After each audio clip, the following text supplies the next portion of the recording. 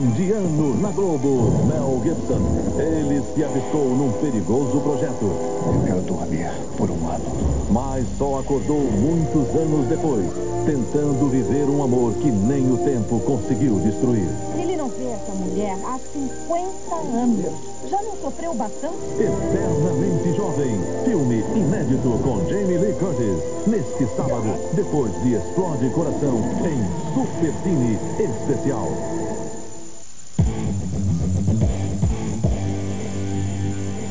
Música